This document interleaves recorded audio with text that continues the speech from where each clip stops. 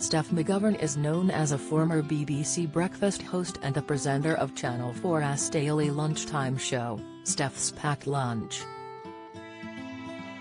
But it is her attitude towards her TV career that has made her so relatable and engaging, namely, that being on the big screen doesn't make you special. It would never, ever cross my mind that I was in some way better than someone else because I'm on the telly, she wrote at the Daily Mail. This was dinned into me at my state school in Middlesbrough where we were taught that we all have gifts and that we were all equal. McGovern said that she sees every member of her team at work as being as important as the next person. There is no hierarchy, she added.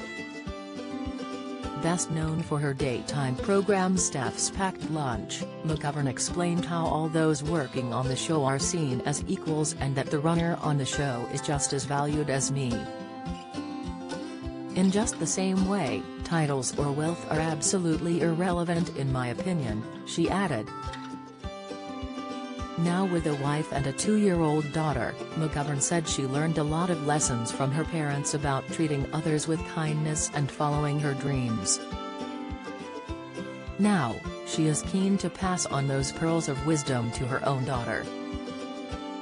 My parents weren't pushy with me and am not going to be with my daughter, she said.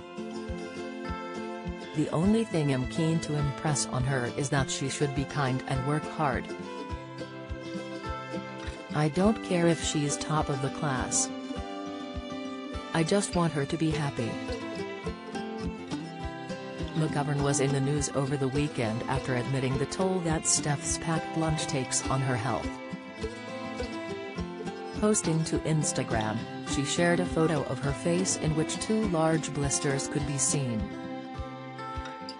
Explaining the worrying image, Steph said, We're coming to the end of this series of packed lunch, we're on a summer break after tomorrow, and whenever I get to the end of a long run I get poorly. I've always had this whatever job I've been doing. I bet lots of people are the same. This time I have a bad ear infection and blisters in slash around my ear slash hair slash face. It has been agony. Steph told fans she'd been on a load of different drugs to try and treat the infection and ease the pain. However, she then explained that some of them were antibiotics, which had totally buggered up my gut health. My IBS is back in full swing being a total BH, she said.